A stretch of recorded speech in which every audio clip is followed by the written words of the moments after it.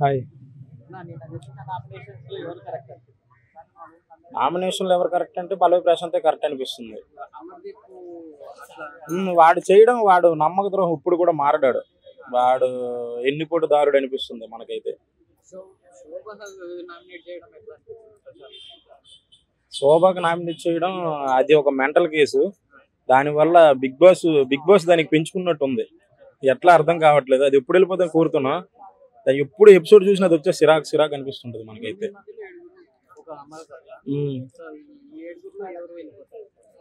ఇప్పుడా? ఇప్పుడు వెళ్ళిపోతే అర్జున్ వెళ్ళిపోతాడు. ఈ వారం మేబీ వెళ్తే అర్జున్ గానీ శోభ గానీ గౌతమ్ గానీ ఈ ముగ్గురులో ఒకరు వెళ్ళిపోవచ్చు.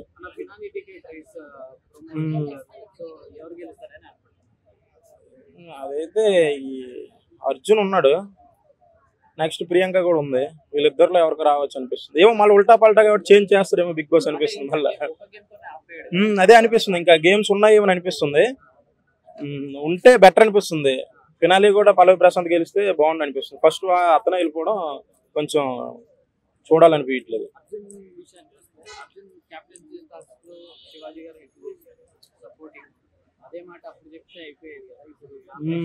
ఇప్పుడు శివాజీకి ఇప్పుడు తెలిసి వచ్చింది అతను బ్యాండ్ తీయడం ఇదంతా చాలా బాగుంది.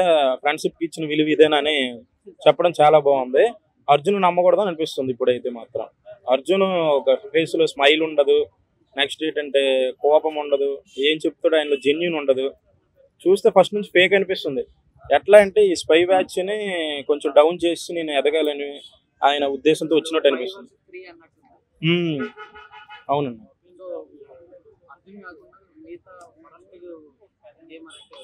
శోభనే. శోభ అంటే పిచ్చ కోపం. ఆమె ఎప్పుడు వెళ్ళిపోద్దని చూస్తున్నాను. ఆమె చేసే ఓవర్ యాక్టింగ్ ఓవర్ అది బెడ్ షీట్ ఏమైపోయింది బ్రో బెడ్ షీట్లు ఏముంది? అయితే అది బెడ్ షీట్ గురించి అడుగుతుంది. ఇప్పుడు మనం ఇప్పుడు బయటకు పనికి వెళ్తుంటాం ఎక్కడో దగ్గర. అడ్జస్ట్ అవ్వాలి కదా? ఇప్పుడు అది బిగ్ బాస్ అలాంటిది. వాళ్ళు ఒక వృత్తి గురించి వెళ్ళారుగా. ఆ బెడ్ షీట్ గురించి గొడవ అది చాలా నాకు నచ్చలేదు ఆమె చేసిన ప్రవర్తన. ప్రతి అది హండ్రెడ్ పర్సెంటేజ్ పక్క అది. ఫస్ట్ ఫస్ట్ అశ్వినిలో అశ్వినికి అట్లనే ఇచ్చింది. తర్వాత ఎవరు వచ్చిన బోలేకి కూడా అట్లనే ఇచ్చింది. ఎవరు కొత్త వాళ్ళుగా ఆమెకి లొంగుతారో వాళ్ళ దగ్గర కొంచెం గుమాయిస్తుంది ఆమె అయితే. బాగానే మాట్లాడాడు శివాజీ మాత్రం. అబ్బాయి పల్లవి ప్రశాంత్ శివాజీ. నెక్స్ట్ యావర్.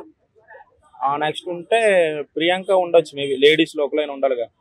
ఉండొచ్చు అమర్దీప్.